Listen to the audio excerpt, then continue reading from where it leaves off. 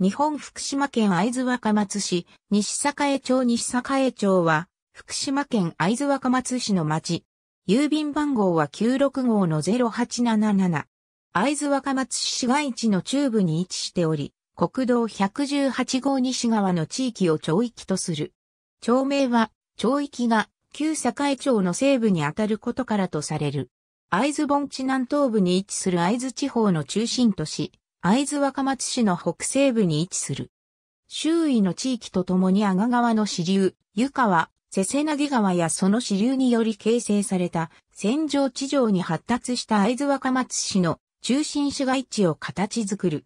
東は東栄町、西は日清町、本町、南は山賀町、大手町、北は中町、栄町に接する。江戸時代、会津藩により周辺が収められていた時代において、現在の西栄町周辺は横通り、競輪寺町など若松城下の一部だった。このうち横通りは若松城下閣内の内北部の地域で当時下町に属していた競輪寺町は商人などが住む若松城下閣外北部の地域だった。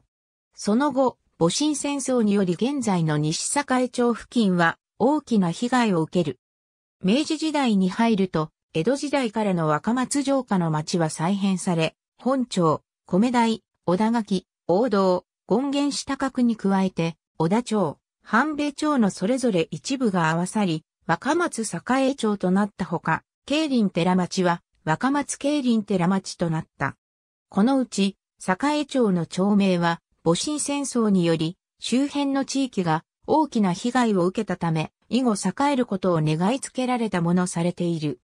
その後、1889年に、町村制の施行によりそれぞれ若松町内の町名となったほか、合わせて、栄町、競輪寺町の町名となり、1899年には若松町の市政施行によりそれぞれ若松市の町名となる。1955年、当時の若松市と高野村、一木村、高座市村、門田村、東山村、大戸村、港村が合併、会津若松市となったことから、以後栄町、競輪寺町は同市の町名となる。その後、1960年代に会津若松市の住居表示が実施され、現在の西栄町周辺も対象となる。そして、1965年、旧栄町、競輪寺町の一部により西栄町が誕生する。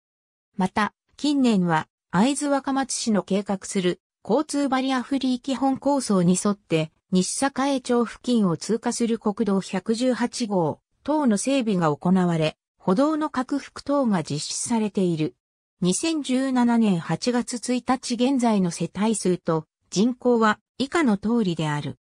西栄町東側を通る国道118号の様子町域東側を通る国道118号、町域西側を通る福島県道59号、会津若松三島線、会津若松市道などで会津乗り合い自動車によるバスが運行されている。